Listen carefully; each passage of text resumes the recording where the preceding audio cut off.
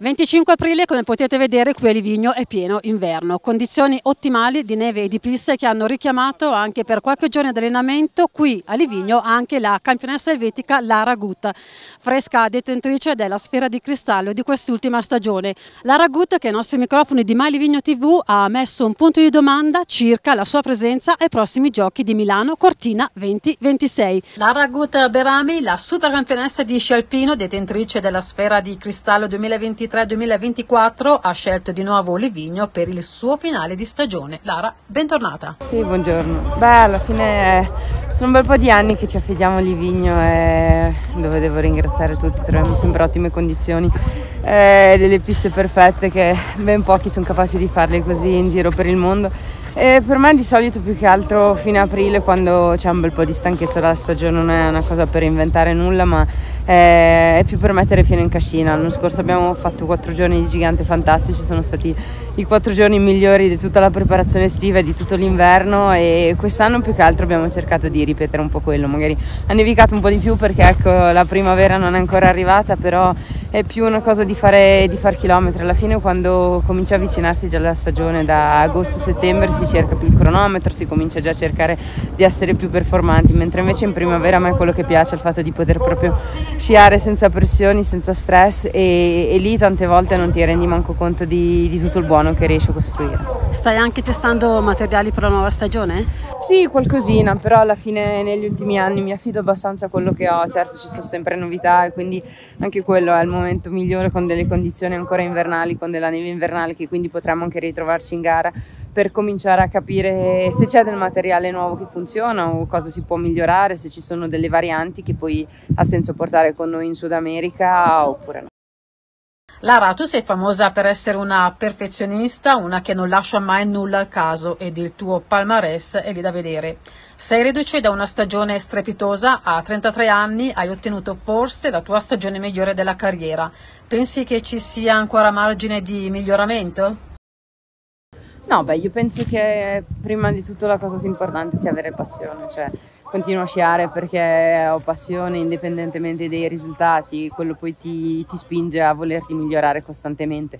Eh, no, penso che di questa stagione posso solo che essere non felice di più perché eh, non avrei mai immaginato di riuscire a essere così costante, Il, ho sempre sognato di riuscire a, a, produrre una stagione di altissimo livello in gigante, l'anno scorso già mi ero avvicinata con il secondo posto e, mh, mm, nella generale e quest'anno sono riuscita a fare un passo in più, no? non avevo mai vinto eh, più di due giganti in carriera, quest'anno ne ho 24, perciò eh, per me la base è sempre stato gigante, è sempre stato fondamentale di essere così costante in, in gigante, di riuscire a fare una stagione del genere in ve- velocità, per me è stato fondamentale. Sicuramente dove ho più margine per migliorare la discesa che è quella che ho allenato anche meno, quella dove a volte faccio anche più fatica e, e, quindi se c'è una cosa che dico potrei migliorare per l'anno prossimo quello non è facile è cercare i dettagli a un alto livello però è quello dove siamo e, e che mi sento anche mi reputo anche fortunata di poter lavorare a questo livello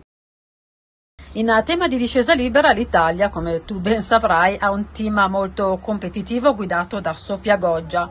A livello tecnico attingi qualche dettaglio da lei? Uh, No, sinceramente no. Mentre mm, per ciò che riguarda una Marta Bassino, una gigante, oppure Federica Brignone? No, io credo che sinceramente il fatto di cercare sempre dagli altri sia un tema che venga fin troppo enfatizzato e non è che non abbia senso, penso che alla fine ogni atleta ha le sue capacità tecniche, fisiche e um, la bravura degli allenatori sta anche in riuscire a esaltare quello e semmai è anche il loro compito andare a cercare, a guardare quello che magari può, può fare la concorrenza e adattarlo, perché alla fine eh, sembra una fa- frase banale scontata, ma la coppia non è mai all'altezza dell'originale. Quindi eh, questo non significa non... Eh, cioè c'è talmente tanto da attingere già e migliorare focalizzandosi su quello che si fa bene o si fa male che eh, mettersi a guardare a destra e a sinistra secondo me tante volte diventa quasi dispersivo. Per ciò che concerne invece la velocità, tu che in bacheca avanti ben 5 coppetti di supergigante, oltre alle due overall, pensi che ci sia ancora margine di migliorarsi? Um, sinceramente c'è sempre da migliorare, quello la cosa eh, bella dello sport, che alla fine ci sono sempre margini di miglioramento, sempre quando, quando vinci, quando anche quando sei in difficoltà ci sono sempre, sempre nuovi, neanche obiettivi, ma, ma piccole sfide, quindi eh, se no penso che avremmo già smesso tutti da un bel po'. Manca meno di due anni ai Giochi di Milano Cortina 2026 con lo sci alpino donne che andrà in scena sulla Olimpiade Tofane, pista che ti ha consacrato anche nel 2021 due volte campionessa del mondo. Non manca molto al 2026 e... E mancano due anni, quindi sinceramente non è una cosa a cui a cui penso. Eh, non, non, sono in una fase della carriera dove si dicono solo due anni, ma più che altro sono ancora due anni, perciò non credo anzi di, di esserci, penso che farò un anno e mi fermerò prima. Ci auguriamo di no. È una decisione questa già presa oppure valuterai Adesso di mese penso, in mese? Non lo so, poi non penso soprattutto a fine stagione, non è una cosa dove, che è facile avere lucidità, parlare di cosa vuoi fare, cosa non fare. Credo che adesso è la priorità e l'unica cosa a cui penso è semplicemente di cercare di mettere fino in cascina questi giorni, di lavorare bene domani e basta, senza fare ulteriori piani e um, dichiarazioni o altro.